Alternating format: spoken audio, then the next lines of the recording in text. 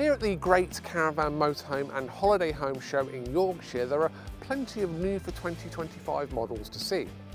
It's the first public showing of many of the new caravans, motorhomes and campervans from the UK's big name manufacturers all in one place. Now all leisure vehicles here are NCC approved so you know the conversion will meet some exacting standards. I'm going to take a look at some of the new models here and in this video we'll also share footage captured by the wider magazine team at the individual manufacturer launches over the summer months to give you a full picture of what's new for 2025. On Swift's stand the new motorhomes include the Trekker XL which is on the long wheelbase version of the Ford Transit High Top. It's like the Trekker X we've seen before but the XL has a rear lounge layout. There are a couple of new layouts in the 6.1 metre long Voyager range which is currently Swift's bestseller the 510 is here and it's a four berth model with a spacious rear washroom. If you're heading to the Caravan and Motorhome show at Birmingham's NEC this October, you'll also be able to see the two berth form, the 505. Both models have a fixed table that drops at the press of a button when you're ready to lower the bed for the night. And the final new motorhome from Swift is the Carrera 244. This is a four berth and four travelling seat pop top panel van conversion on a Fiat base. There's parallel seating in the rear and a dinette up front with a small washroom and a kitchen in between. Bailey has a full range of its new caravans and motorhomes here on show too. You can see our review of the Unicorn Deluxe Cabrera in October's magazine. Its twin-axle sibling, the Pamplona, is even more spacious, so you get enough length for an adult-sized single bed at the front too.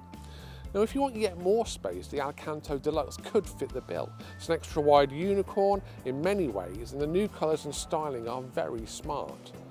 On the motorhome side, the Adamo has been completely reworked for the new season. You can see our review of the all-new 62 two-berth in September magazine, but there are new furnishings and updates on all the models. I particularly like the 75 4DL with its two spacious living areas. And you don't even have to make up any of the beds at night as they drop down from the roof, both back and front of the van. Now this year Bailey has removed the substantial table from the cab end which makes it much easier to move around this motorhome too.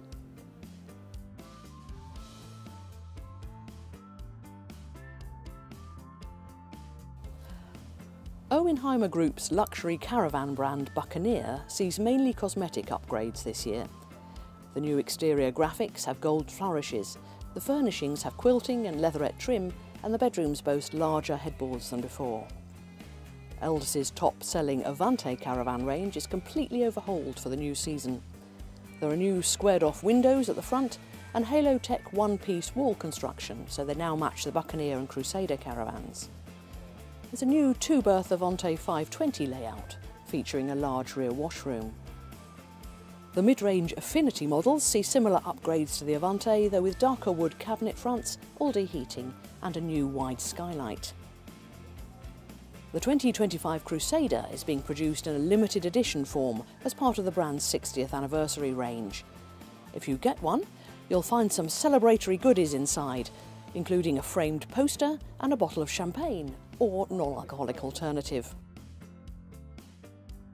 Erwin Hymer Group's entry-level caravan and campervan range, Xplore, will see a complete rebrand for 2025 with an adventure theme.